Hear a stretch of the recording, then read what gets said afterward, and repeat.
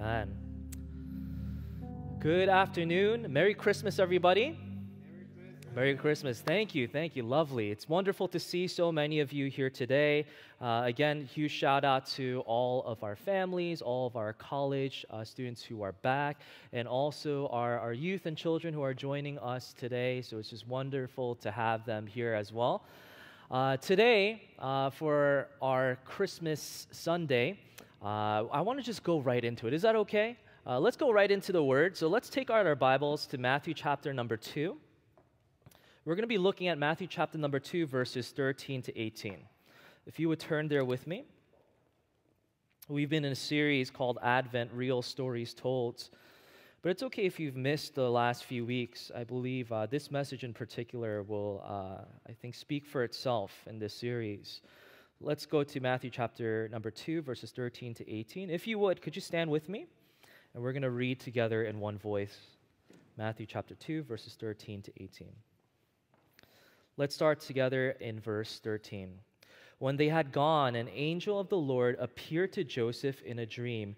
Get up, he said, take the child and his mother and escape to Egypt. Stay there until I tell you, for Herod is going to search for the child to kill him. So he got up, took the child and his mother during the night, left for Egypt, where he stayed until the death of Herod. And so was fulfilled what the Lord had said through the prophet Out of Egypt I called my son. When Herod realized that he had been outwitted by the Magi, he was furious and he gave orders to kill all the boys in Bethlehem and its vicinity who were two years old and under, in accordance with the time he had learned from the Magi. Then what was said through the prophet Jeremiah was fulfilled. A voice is heard in Ramah, weeping in great mourning. Rachel is weeping for her children and refusing to be comforted because they are no more. This is the word of the Lord. Man, you may be seated. I've titled this Christmas Sunday message, the final message for the series. It's a very unique title. Uh, the title is literally Danger get out. If you came here for a nice, warm, fuzzy Christmas uh, sermon, I'm sorry, maybe next year. Um, it's, this is, I'll, I'll, tell you, this is very unusual. I, I really don't usually uh, get these um, strong feelings of uh, conviction to this degree. Uh, in a lot of ways, our previous messages, even the way that the titles were presented, it was in the form of a question like, Are we there yet? Am I supposed to be here? A lot of introspection and a lot of reflection. But today, in particular, as I was praying for each of us and praying for the message today, I felt a great deal of urgency. I felt a great deal of priority and uh, a nowness. Uh, you may not be familiar, but in, uh, in the ancient Greek, which the New Testament is written in, uh, there are two words for uh, word, right? There's the logos, written word, and there is rhema, right? And that rhema word is, uh, is a word for a particular circumstance, a particular season, in a particular moment. A lot of times we make the mistake of making those uh, logos and rhema mutually exclusive, like they have nothing to do with each other. But I'm telling you here today, there are times where the logos word can become a rhema word. How many have ever known, like you could read a passage like 500 times, but the 501 time you read the passage, it's almost like it speaks to you in a personal and fresh way. It's almost like the words jump off the page and it's like highlighted for you. And today, I think, is one of those days where I feel a great deal of urgency for today's uh, message and weightiness. There's not many messages preached on Matthew chapter number 2, verses 13 uh, to 18 in general, especially not on Christmas when we have guests, when we have uh, visitors. If there's any narrative in the Christmas story in the Gospels that challenges our notions, our preconceived notions that the Christmas story is just like hunky dory and it's just like rainbows and butterflies and it's just like nice, you know, just angelic stuff and everything symmetrical and everything just is, is beautiful, beautiful, or just like orchestra playing in the back. It would be this message and this passage that completely shatters that paradigm because, in a way, there's no way to ease into this. sort of like Matthew chapter 2, verses 13 to 18, if you're really reading it and understanding what's going on, at the center of it, of course, there is Jesus, but at the center of it, there is this King Herod. And forgive me for this expression, it seems borderline, or not just borderline, it seems psychotic and just conniving and evil. What's happening here? If you don't know, the previous uh, portion of Matthew chapter number two, the Magi go to seek out Jesus, the newborn king. And Herod confers with the Magi and says, Hey, show me where the newborn Jesus is, because he was saying, I want to go worship him, but really, he saw Jesus as a threat because Herod was an inc- incredibly insecure kind of leader. So he's like, I'm going to I'm going to make sure to put an end to this. When the Magi hear from God and say, Go back another way, Herod realizes this. He's outwitted, and he doesn't just stop there, but what does he do? He escalates it. And he commands and he sends this uh, private corpse in a way uh, to literally end the life of infants, two year old baby boys in the entire vicinity of Bethlehem.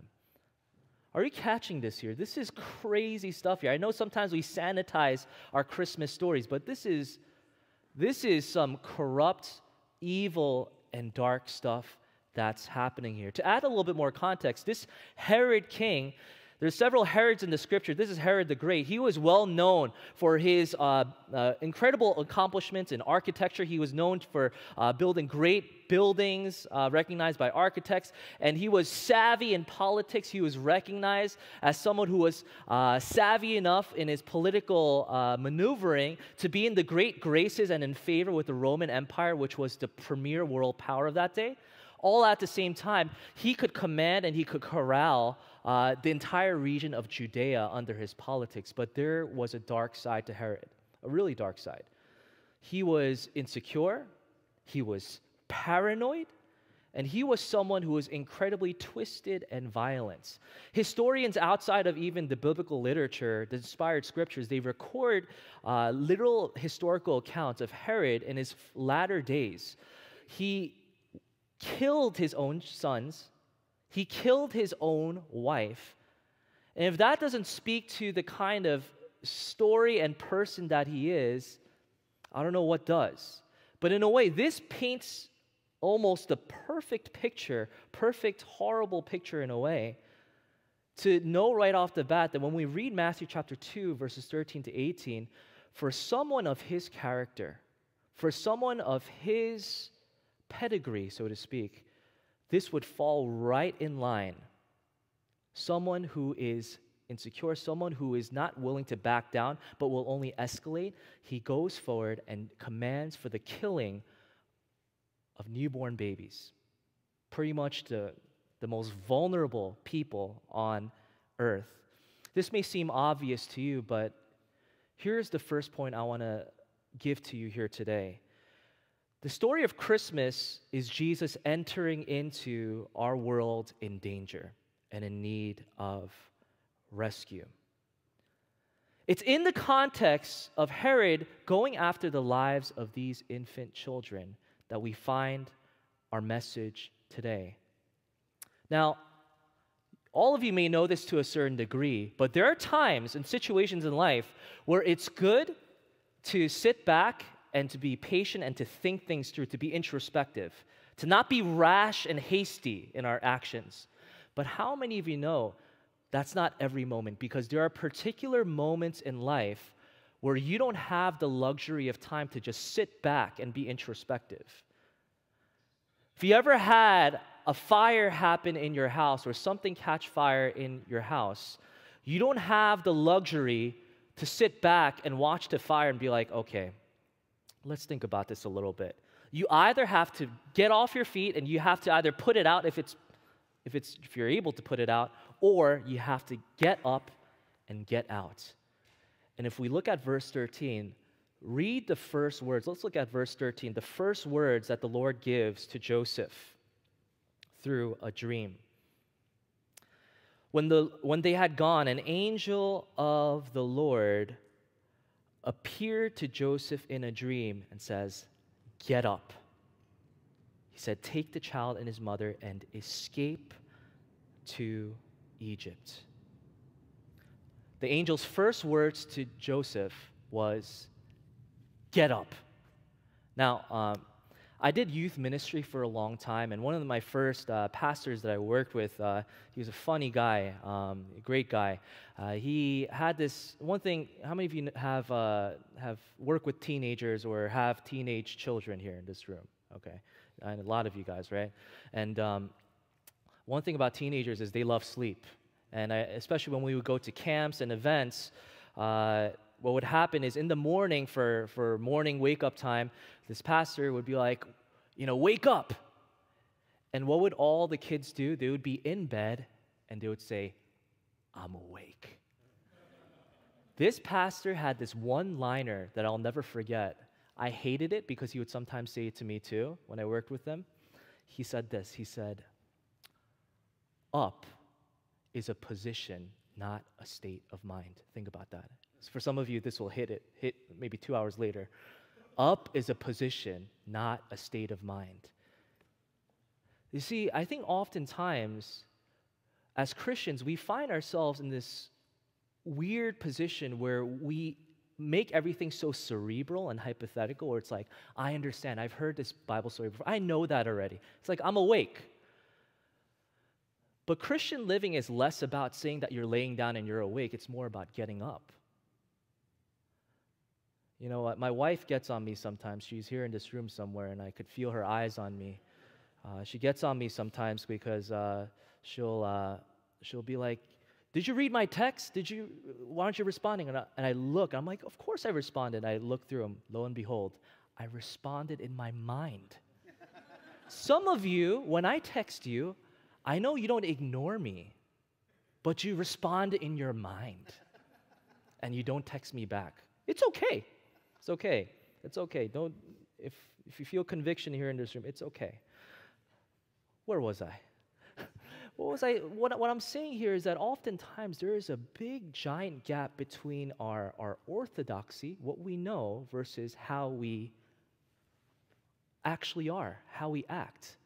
And we could deceive, self-deceive ourselves to think that we're, we're living in the path that God has for us in obedience, when in reality, we're just as obedient as people who are laying back and saying, I am awake. Up is a position, not a state of mind. You see how Joseph, it wasn't enough for Joseph just to hear the command, get up, and be like, okay, I'll start first thing in the morning. If you catch it, when the angel of the Lord says, get up, take your wife, your child, and, and get out of here he acts right away. He did not wait till the morning. How many of you know that there are commands of God and there are promptings of the Holy Spirit that are time sensitive? And sometimes what we do is we put it off, we put it off, we put it off. But we need to hear this. Delayed obedience is synonymous with disobedience. There are things that we've been told, there are things and convictions that we have felt and we just push it back and say, I'll get around to it. But maybe here today, some of you need to hear this with a sense of urgency. There are things that God has given you, there are promptings that the Holy Spirit has put on you, and convictions, and you're sitting on a conviction. But the Lord is trying to not get you to know something, He's trying to get you to move somewhere. And I want you to hear this. Because oftentimes we overly simplify things and Christians who go to church, we're the most guilty of this. There are times in life where God, in a situation, He says, Stay put. See what I can do. Stay put.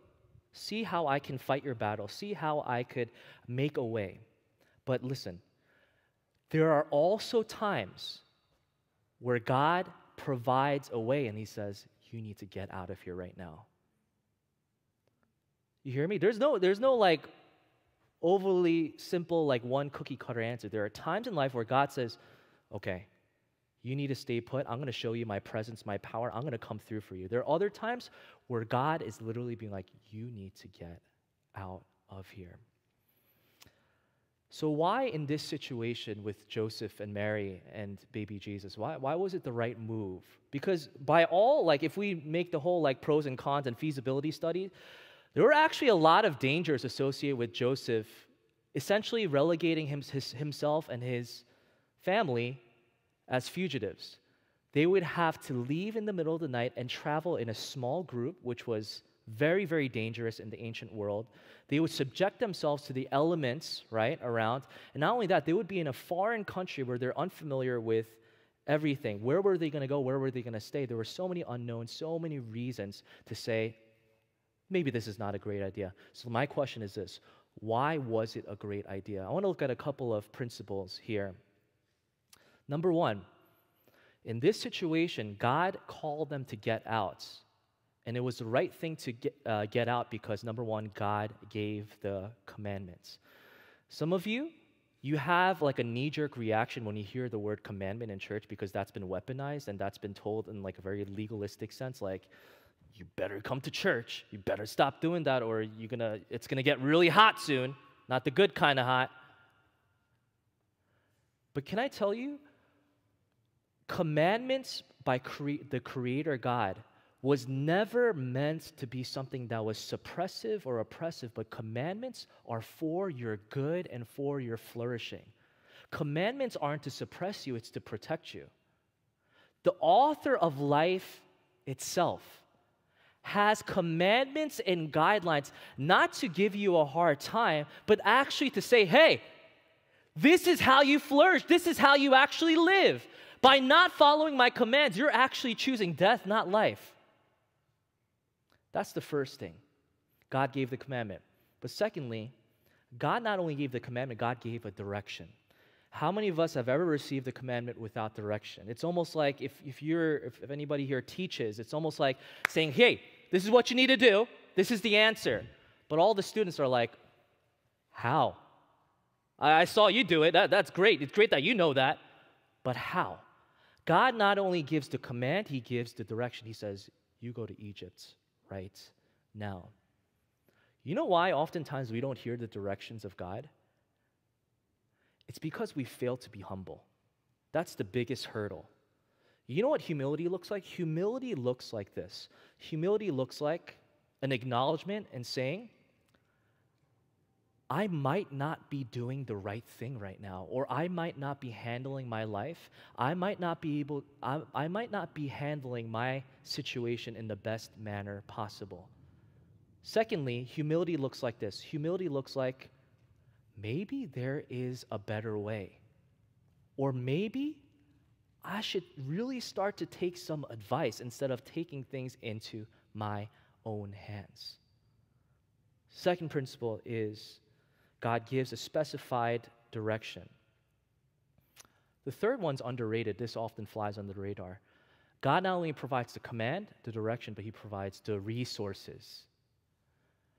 Uh, you, you've heard the Christmas story before, I'm sure. And you've heard the gold, frankincense, and myrrh that the, the Magi bring.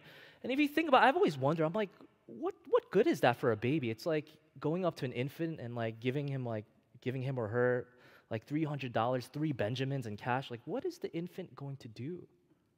But think about it God orchestrated every detail of the story, knowing that they would be fugitives. Listen, there's no quick pay, there's no Zelle, there's no Amex, there's no MasterCard. How are they going to survive? The most portable currency of that time was what? gold, frankincense, and myrrh. God prepared the wise men to bring the gold, frankincense, and myrrh to the family of Jesus, to the parents of Jesus, so that when God told them, go, it wasn't like, okay, how? But I've given you every resource. And He gave those resources through people. There may be a situation in your life here today where God's given you a command, a direction, and even the resources. And here's the thing you know why sometimes we don't obey God and the reason why we don't get out of situations He calls us out of? It's not because God's not speaking to us.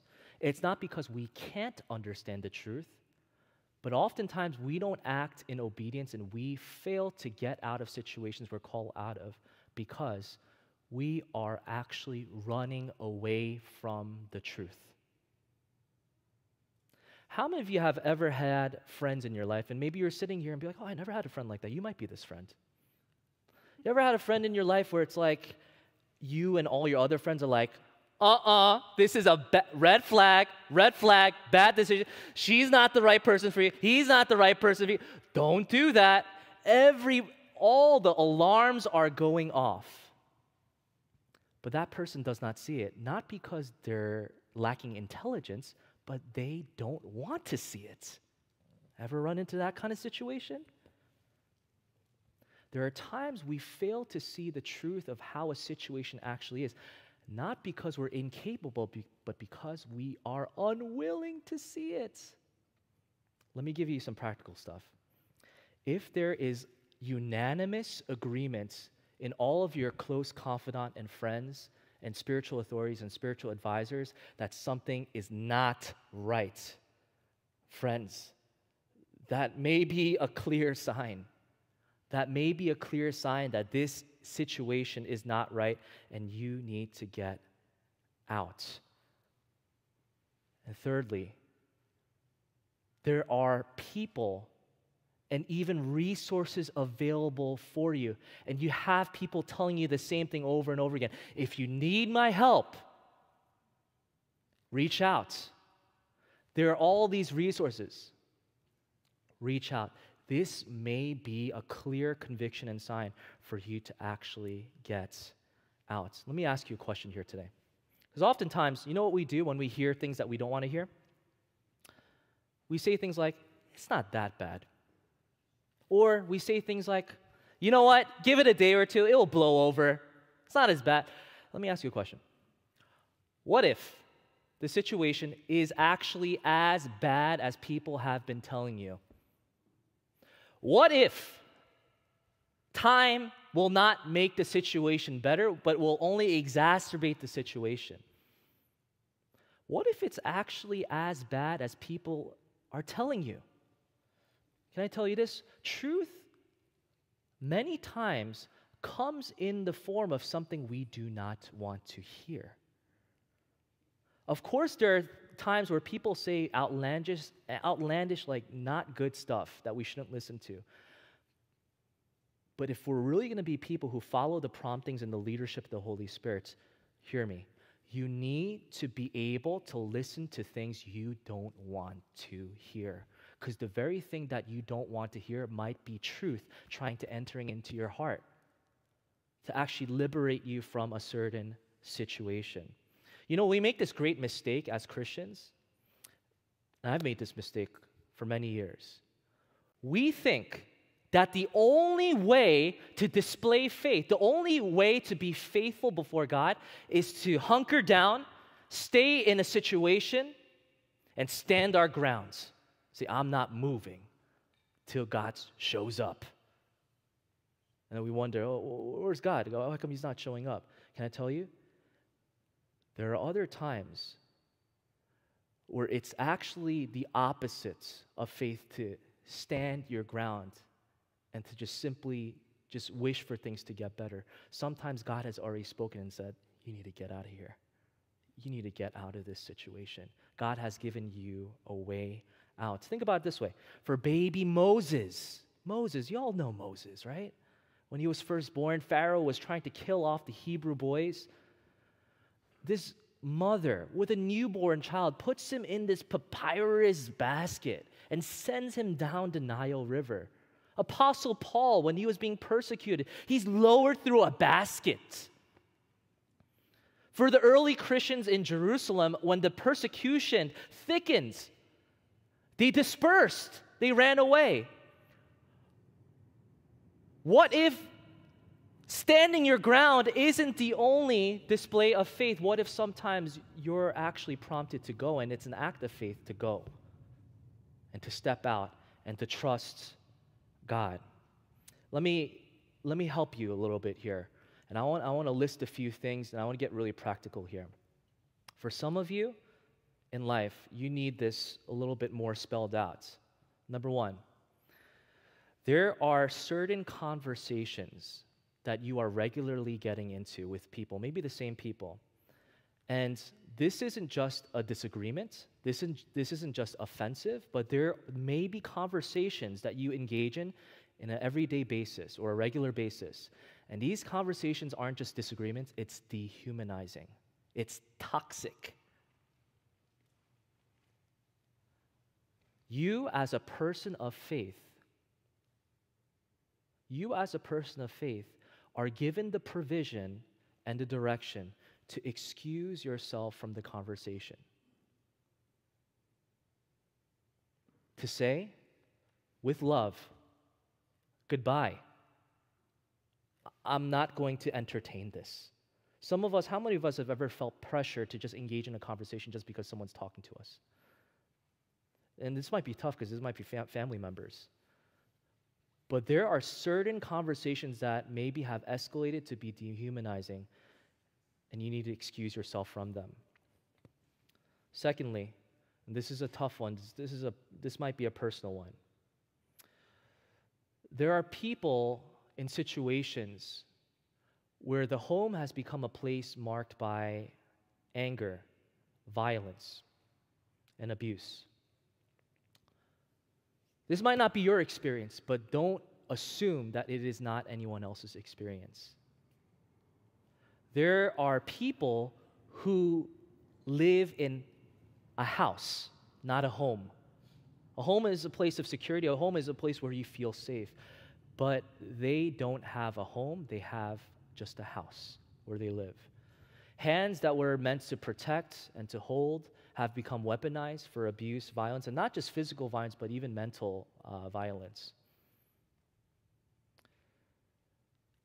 I need you to hear this from me as a pastor. God does not call you to stay in a situation like that. If you've never heard this before from a church, I want you to hear this very clearly on where I stand. The scripture does not require you to stay in that environment where there is abuse and violence seek wise counsel, find out what resources are available. God is not making that person abuse you. Can I get an amen? Thirdly, there are work environments that are unsafe and toxic. This is tough too because sometimes we could feel trapped in a workplace because it's our means of living in this world, people with power are fully capable of doing heinous things and abusing their authority, not using their authority to help others, but they abuse their authorities to make the workplace an unsafe place. As a person of faith, I want to talk straight to you. By the faith given to you by our Lord Jesus Christ, start brushing up your resume, send applications elsewhere you are not called to stay there. Lastly, and this is not exhaustive, for some of us, this place where God's calling us to get out of, it's actually relationships. For some of us, it's friendships. For some of us, we've been so, we've gotten so used to our relational dynamics. And you know what we start to think? Oh, this is just how things are. This, this is normal. But can I tell you? There are times where everyone in your life is looking at you and saying, that's not normal. You're not meant to live like that. We make excuses and justifications. We borderline gaslight ourselves to say, like, oh, th- this is just how things are. I just need to tough it out. I'm going to tell you as a pastor who's taking the word today and saying to you here today, there are situations that you are calling normal that are not normal and that should not be tolerated. And this is tough because this hits home. These are relationships, this, these might be friendships. And can I tell you? It is fully possible in the provision of the gospel to do this. It's possible to look at someone and say, I love you and goodbye. I'm going to say that one more time to this side. I love you. Not but, and goodbye. I'm not putting distance, I'm not putting boundaries because I don't love you. But these boundaries are necessary right now for the life, flourishing, and the protection of my own heart and my own soul. For some of us, this might come in the form of a really difficult conversation to look at someone you really care for and say, hey, I can't do this anymore. I can't engage in this any longer. And l- listen, this pertains to every age group here. I don't care if you're in grade school, I don't care if you're in middle school, college, beyond.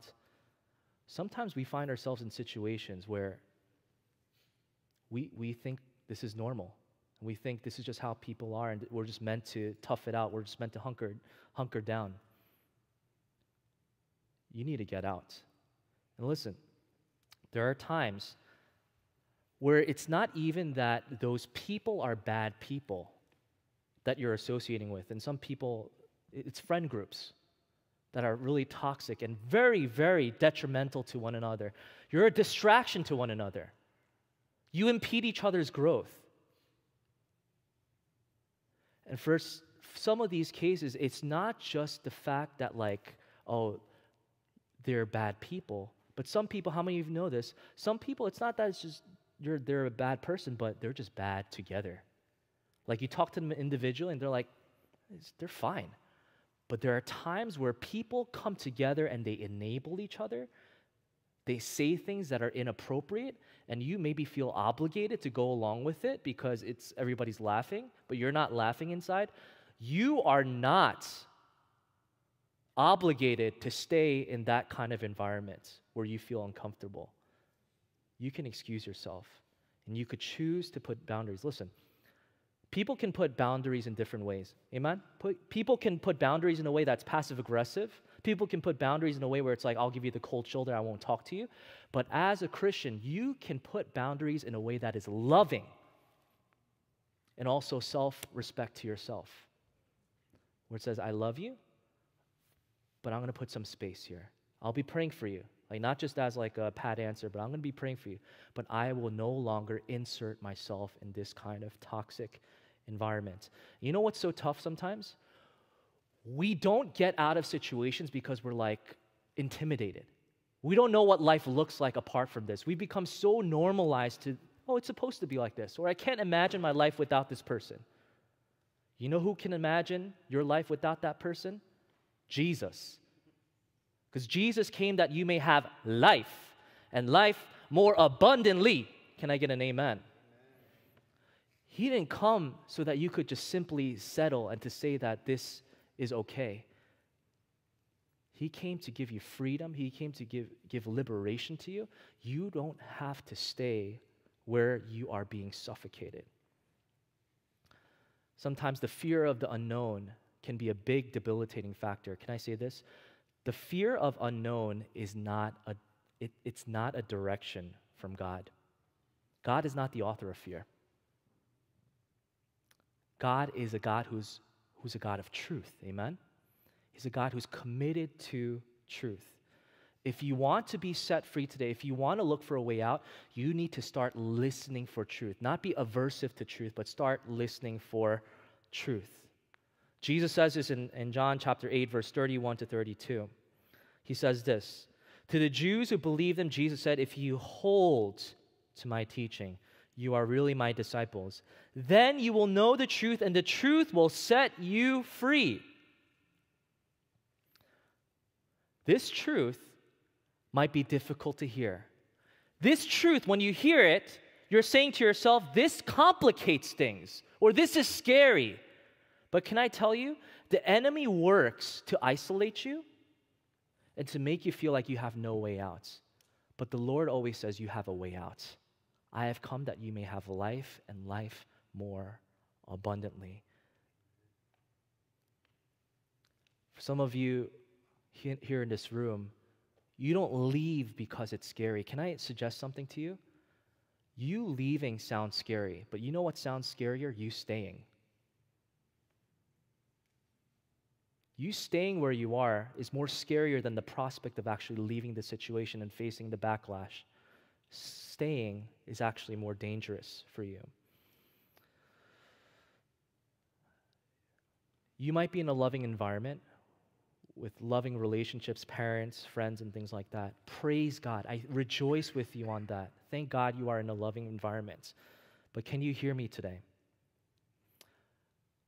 Not everyone is in that kind of environment. Do not assume your situation is relevant to everyone else's. Because you will come across people in your life who are in dangerous and toxic situations. You will come across people who are in danger spiritually, physically, emotionally. Hear me. Please do not assume that faith for them has to look like them just being faithful and staying in their situation. Amen? Please don't assume that. Please don't assume that the only way to manifest faith is to just stay in a place that is killing, literally killing your soul and your body. Sometimes it requires faith to say, sometimes it requires faith to get out of a situation. But you know what the great thing is? Sometimes God calls us to leave, but that leaving is not permanent. God will tell you when it's safe to return. Amen? So it's not all, all is lost. Sometimes God tells you to leave for a season. The friends that you maybe like uh, are afraid of losing, the relationships you're afraid of losing, God may be telling you for a season, you need to distance yourself. Not, not in a cold shoulder, immature way, but you need, to, you need to get some distance. I'll tell you when it's safe to return because they need to grow too. They need some time away from you too. It's not just you.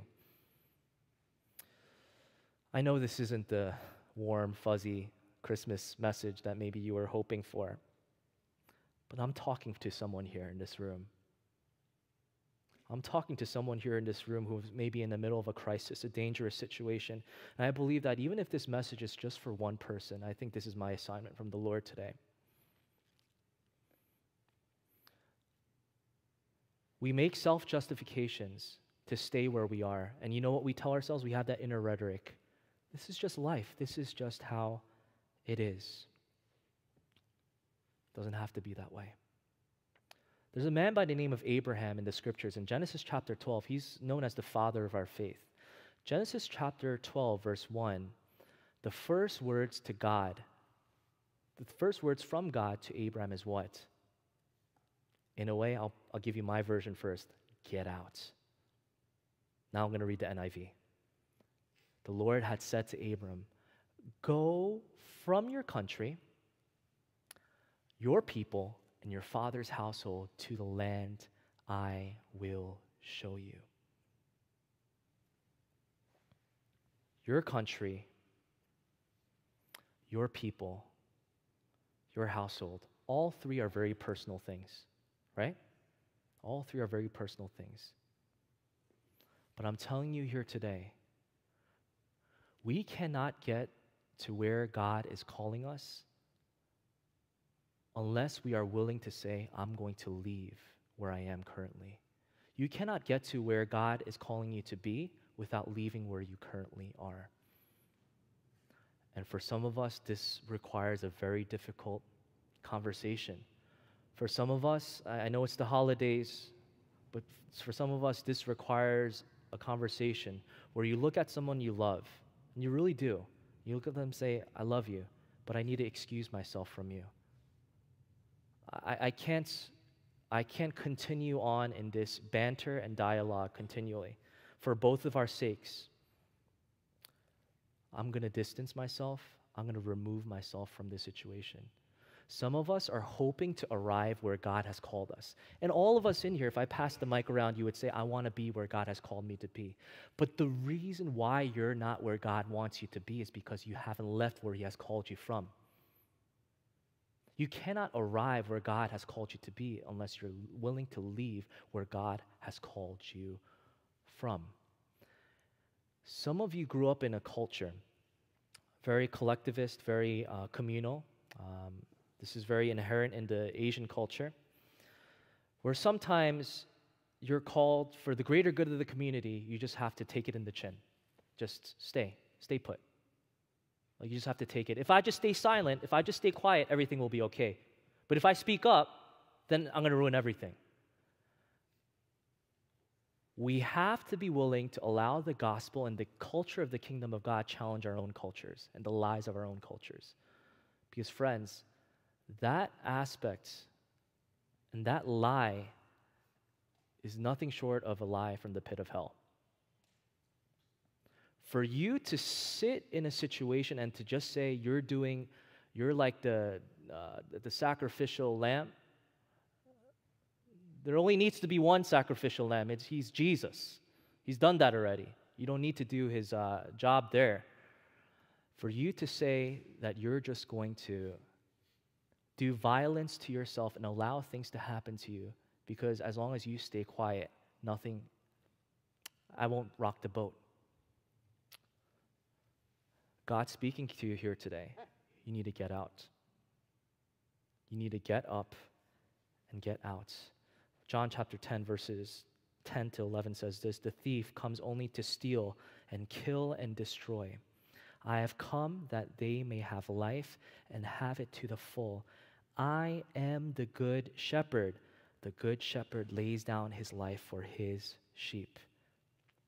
Christmas is all about the good shepherd laying down his own life, not so that we could remain in bondage, but so that we could live in freedom and in the life that he's called us to live. Can you say amen to that? Let's bow our heads and our hearts.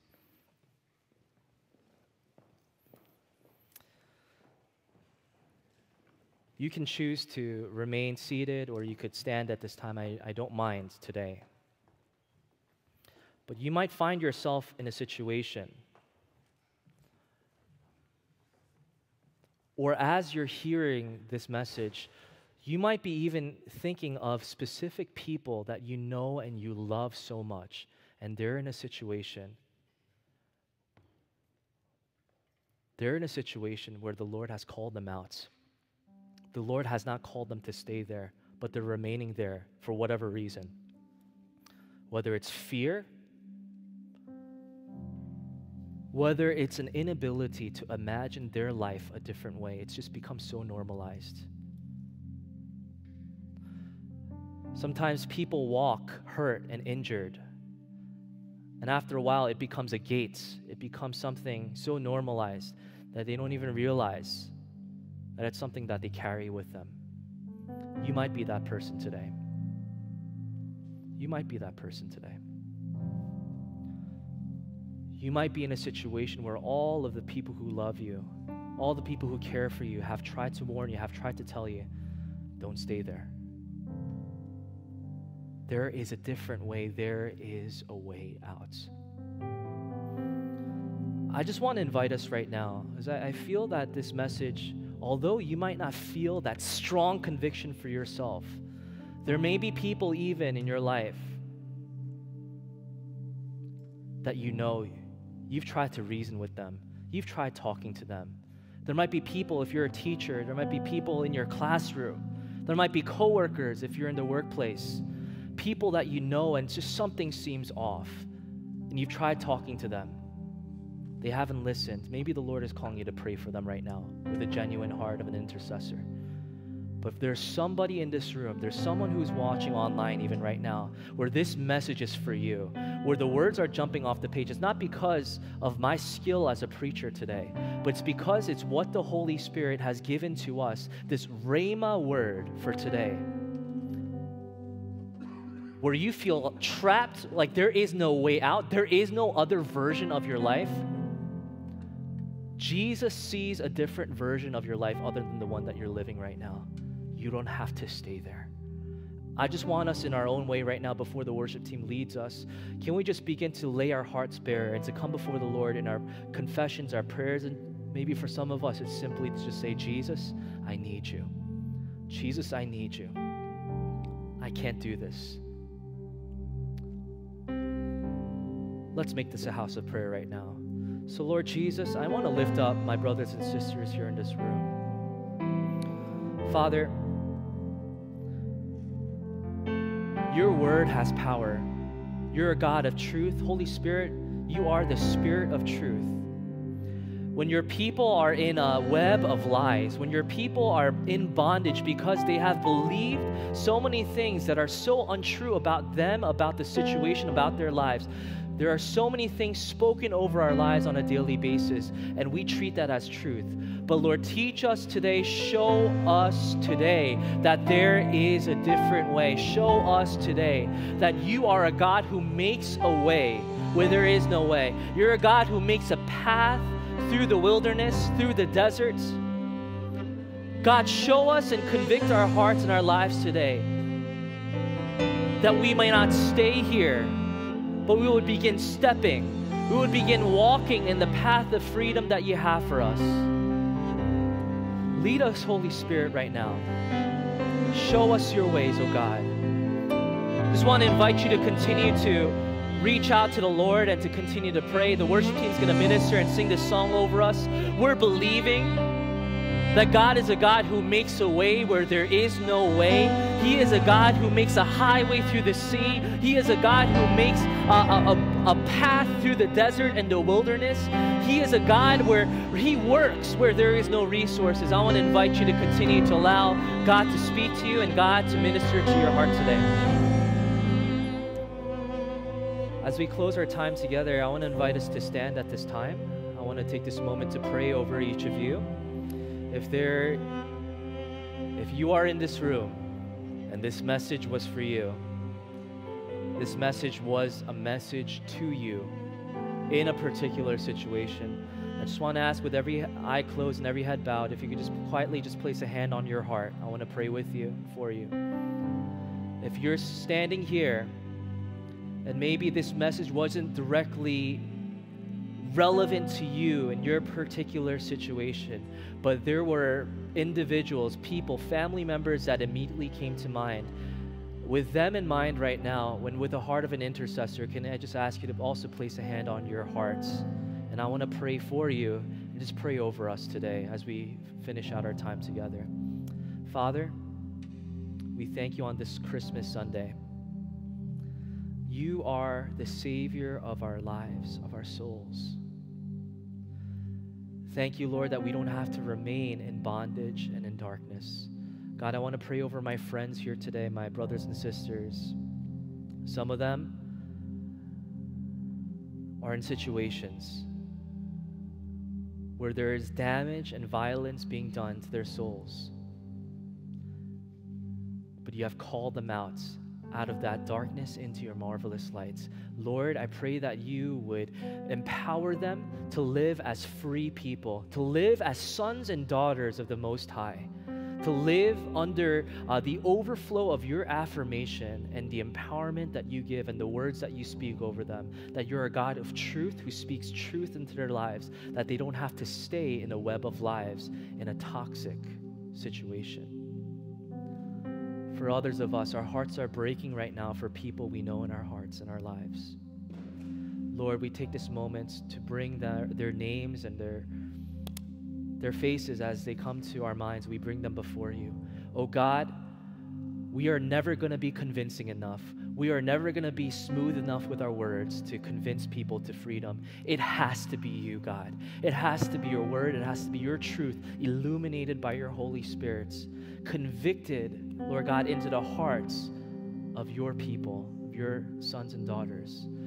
May you do that work of conviction and set people free through us. Let us know today that maybe this word is for us let us know here today that maybe this word is for someone else through us. Show us and open our eyes today that we may live in obedience to the conviction and to respond to live as people freed by the gospel of Lord, your Son, Jesus Christ. And now may the grace of our Lord Jesus Christ and the love of God eternal and the fellowship, empowerment, and the freedom that the Holy Spirit brings be over you, your family, your loved ones, both now and forevermore. Amen. Amen. Amen. Praise the Lord. Amen. Merry Christmas, everybody. Uh, if you want to talk after uh, the service, I'm here and available if you would like to speak. Otherwise, we have some refreshments on the side for us to mingle and share some fellowship together. Have a wonderful uh, day and have a wonderful week. I will see you tomorrow if you're coming. Thank you.